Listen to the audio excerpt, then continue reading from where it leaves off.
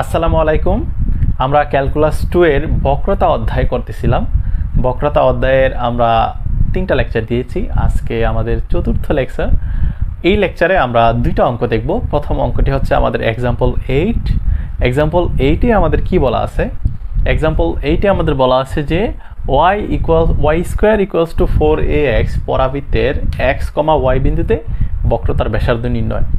তো আমরা বক্রতার ব্যাসার্ধ নির্ণয়ের সূত্রটা অবশ্যই জানি, মনে আছে আমাদের। Rho equals to one plus Y one square whole square three by two divided by Y by two এই সূত্রটা আমাদের আশা করি মনে আছে। তো আমরা এই সূত্র দিয়েই অঙ্কটা সলভ করব এবং আমাদের একটা নতুন সমস্যা আছে কি? সমস্যাটা হচ্ছে এক্স কমা ওয়াই বিন্দুতে। তার মানে এইটাকে আমরা যখন একবার ডিফারেন্সিয়েট এবং দুইবার ডিফারেন্সিয়েট করব, তখন কিন্তু আমাদের এক্স আর ওয়াই অটোমেটিকই আমাদের সেই ইকুয়েশনের মধ্যে থেকে যাবে। ফলে আমাদের আমাদের এক্স কমা ওয়াই বিন্দু তার টেস্ট করার দরকার নেই। কিন্তু এক্স কমা ওয়াই না দিয়ে যদি ওয়ান কমা টু অথবা জিরো কমা ওয়ান এরকম দিত, তাহলে কিন্তু টেস্ট করতে হতো। ওকে তাহলে আমরা সমাধান করি, তাহলেই বোঝা যাবে অঙ্কটা। তাহলে আমরা লিখব উত্তর, যেখানে আমরা অ্যান্সারটা শুরু করব। আমরা লিখব দেওয়া আছে। দেওয়া আছে। তো আমাদের দেওয়া আছে কি? দেওয়া আছে Y equal Y square equals to four A X নাকি? তাহলে এইটাকে আমরা একটু মডিফাই করে নিই। আমরা স্কোয়ারটা ওই পাশে নিয়ে গেলে তাহলে কি হয়? ওয়াই রুট ফোর তাহলে রুট এ রুট এক্স এইরকম হয় না? অর্থাৎ আমি তিনটাকে ভাগ করে দিলাম রুটটাকে কিন্তু আমরা জানি ফোরকে রুট করলে কি হয়ে যায়? টু হয়ে যায়। তা আমরা অঙ্ক দীর্ঘায়িত না করে আমরা এখানে চাইলে টু লিখে দিতে পারি।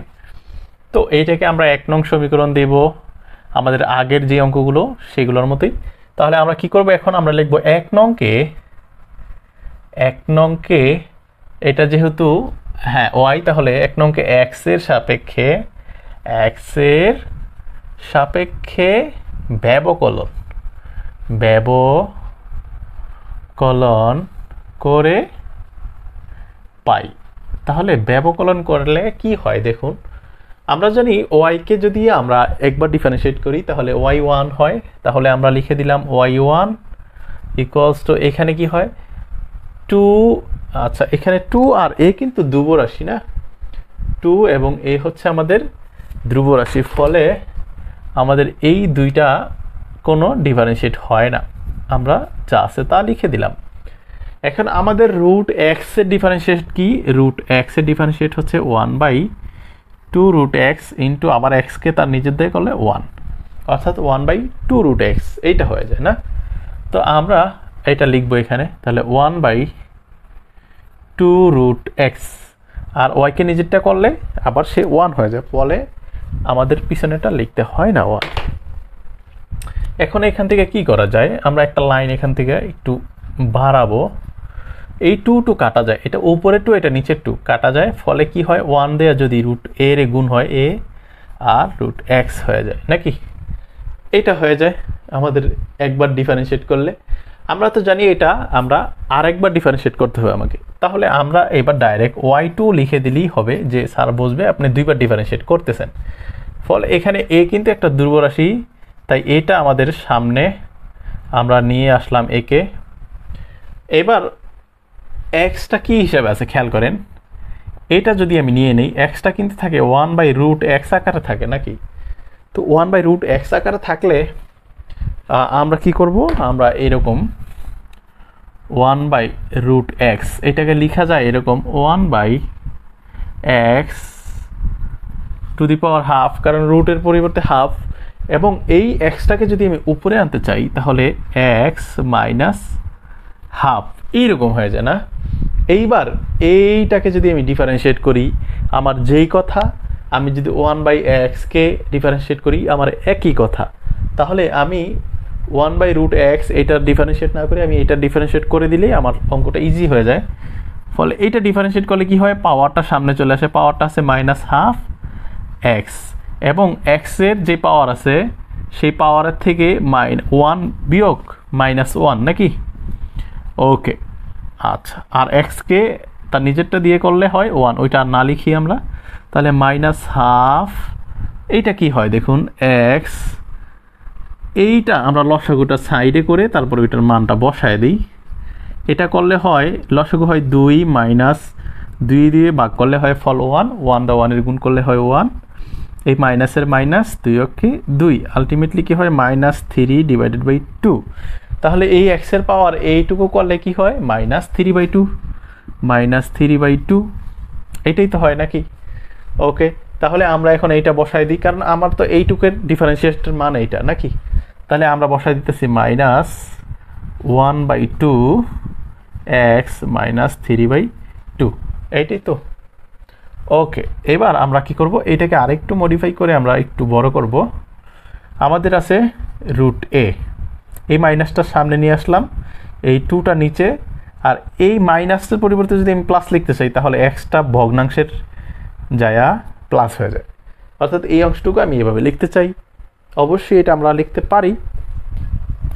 ওকে আশা করি এতটুকু আপনারা বুঝতে পারছেন। এখন কিন্তু আমাদের ওয়াই ওয়ান এবং ওয়াই টু এর মান আমাদের হাতে চলে আসছে চলে আসছে। ফলে আমরা কিন্তু এবার লিখতে পারি আমরা জানি যে বক্রতার ব্যাসার্ধ রো ইকুয়ালস টু তাহলে আমাদের কিন্তু বলছিল যে আমাদের এক্স কমা ওয়াই বিন্দুতে। দেখুন, এখানে কিন্তু আমার এক্সের মান কত তাও জানি না ওয়াইয়ের মান কত তাও জানি না আমি।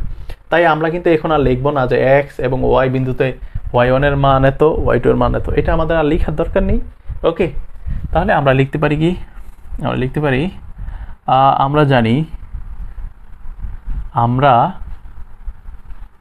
আমরা জানি বক্রতার ব্যাসার্ধ বক্রতার ব্যাসার্ধ, আমরা জানি বক্রতার ব্যাসার্ধ রো ইকুয়ালস টু কী হয়? Modulus one plus y one square whole is, whole to the power three by two modulus y two. এটা হচ্ছে আমাদের বক্রতার ব্যাসার্ধ নির্ণয়ের সূত্র। তো এই সূত্রের মধ্যে যদি আমরা মানগুলো বসাতে থাকি, ধরে নিলাম এটা হচ্ছে রোটা এই পাশেই আছে। এখন আমাদের ওয়ান থাকল ওয়াই ওয়ানের মান কত? ওয়াই ওয়ানের মান হচ্ছে root a by root x. Root a by root x. এখন এটার উপরে আছে কি? স্কোয়ার। তাহলে স্কোয়ারটা দিয়ে দিলাম। এখন তার মাথায় তো আবার হোল স্কোয়ার ছিল নাকি? তাহলে হোল স্কোয়ার থাকে সরি হোল না হোল পাওয়ার ছিল স্কোয়ার না। আচ্ছা তাহলে এইটা হচ্ছে আমার এই অংশটুকু, মানটা বসালাম। ওয়াই টু এর তো মান আছে আমাদের কাছে ওয়াই টু এর মানটা আমরা বসাই দিই। Minus root a divided by two x three by two এই তো আমাদের মান নাকি? আমরা মানটা যখন ওই সূত্রে ইউজ মানে ইনপুট করব, তখন এরকম আমাদের চেহারা চলে আসে। এবার আমরা কি করতে পারি বলুন তো? এবার আমরা লিখতে পারি ওয়ান প্লাস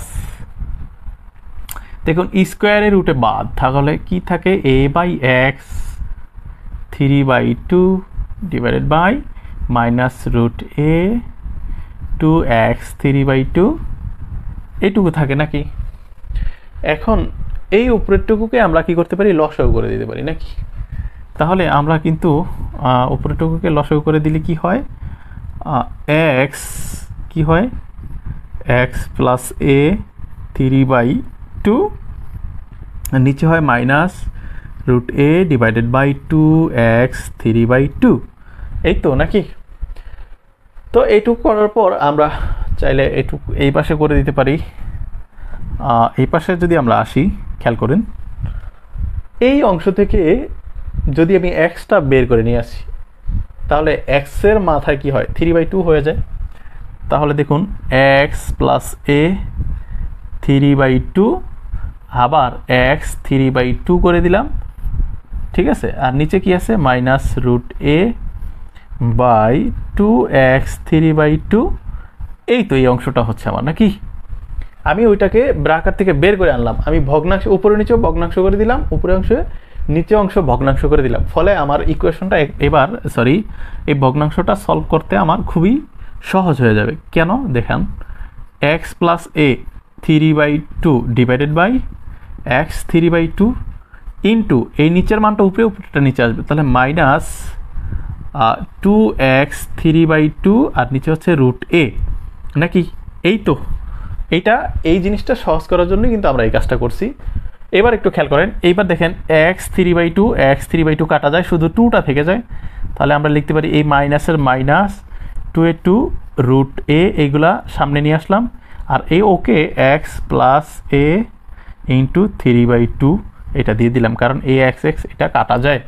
ওকে আর এই যে যেই রাশিটা আমরা এখন পেলাম আর এইটাই আমাদের অ্যান্সার ওকে এইটাই আমাদের অ্যান্সার আপনারা এইখানে অ্যান্সার লিখলে আশা করি এই অঙ্কের জন্য হয়ে যাবে। অথবা আপনি পরের লাইনেও এটার অ্যান্সার দিতে পারেন।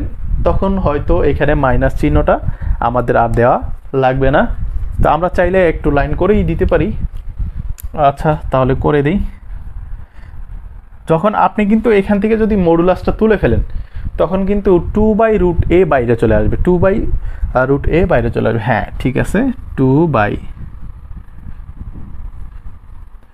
আচ্ছা এটা অ্যান্সার না দিয়েও আমরা আরেকটা লাইন করে দিই টু বাই রুট এ কি হবে? টু বাই রুট এ এই মডুলাসটা এবার ভিতরে চলে যাবে x plus a three by two তো এইটা অ্যান্সার অথবা এইটা অ্যান্সার আপনারা চাইলে যে কোনো একটা অ্যান্সার দিতে পারেন। এখন কথা হচ্ছে, এইটার ভিতরে মডুলাসটা কিন্তু থাকবে। এর কারণ হচ্ছে, আমাদের কিন্তু এখনও এক্সের রাশিটা রয়ে গেছে। এক্সের মান যদি এবার দেখুন, এটার পাওয়ার কিন্তু জোর পাওয়ারে নেই। যদি জোর পাওয়ারে থাকতো, তাহলে এক্সের মান আমি যাই দিতাম। এই দুইটার যোগফল আমাকে ধনাত্মক মানই দিত। ফলে আমি মডুলাস না দিলেও চলতো। কিন্তু এটার পাওয়ার যেহেতু বিজোর মান, ফলে ওর ভিতরে যদি কোনো একটা কারণে যোগফলটা মাইনাসের মান এসে যায়, তাহলে ওই পাওয়ারে কিন্তু ওকে আর ধনাত্মক করতে পারবে না। ফলে এটুকুকে আমাকে মডুলাস রেখেই দিতে হবে। এই জন্য আপনারা এইটুক করলে ভিতরেটুকু অবশ্যই মডুলাস দিতে হবে। তো এর পরের প্রশ্ন আমরা করব। এর পরের প্রশ্নটা সেম একই, শুধু আমাকে এই বিন্দুগুলোর মান কি করতে হবে? দেওয়া আছে অন্য আর কি এইটাই আমরা একটু পরিবর্তন করে সমাধানটা করে দেব।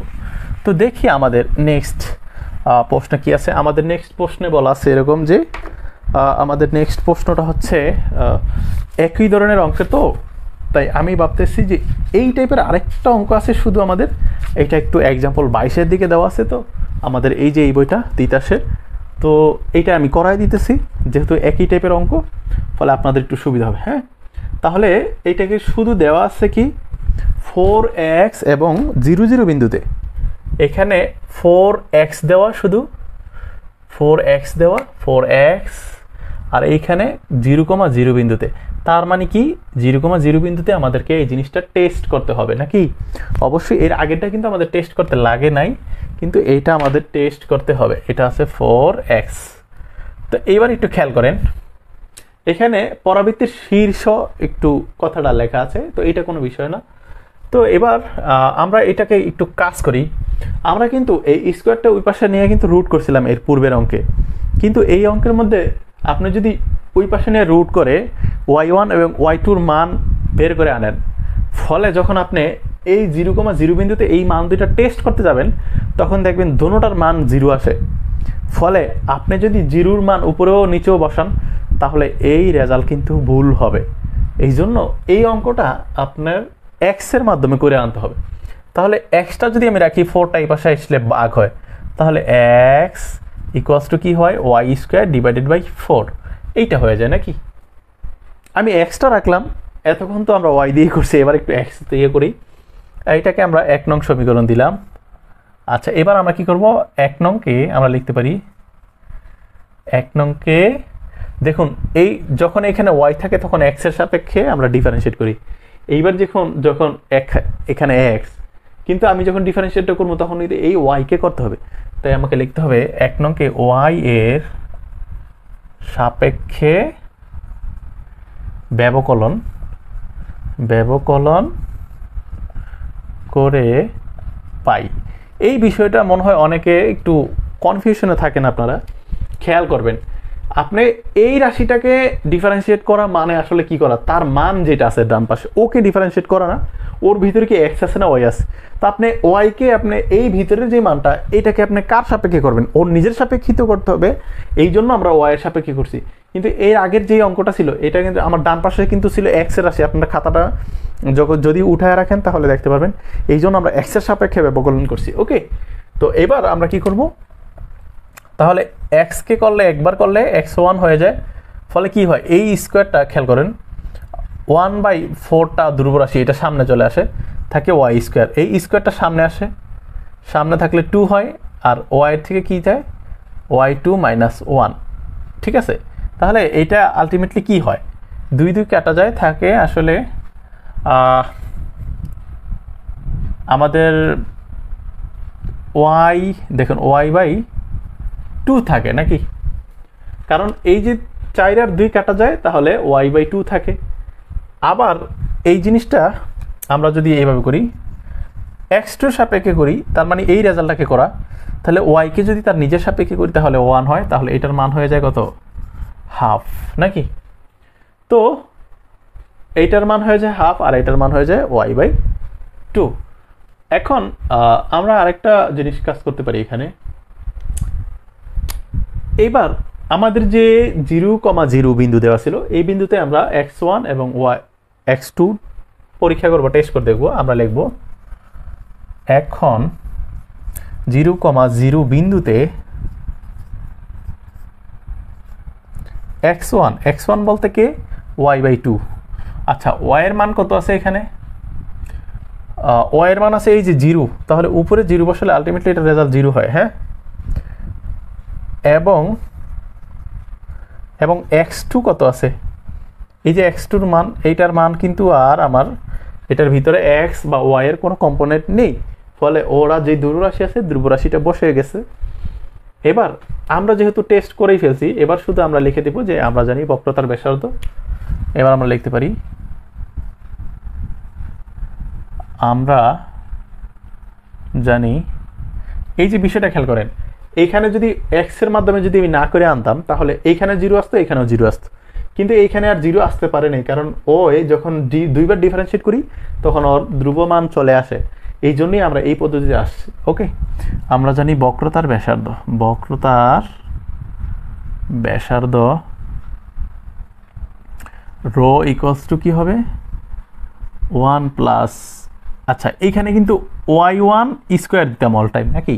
কিন্তু আমরা এবার কার সাপেক্ষে করতেছি? এক্স দিয়ে করতেছি, তাহলে এখানে অবশ্যই এক্স হবে।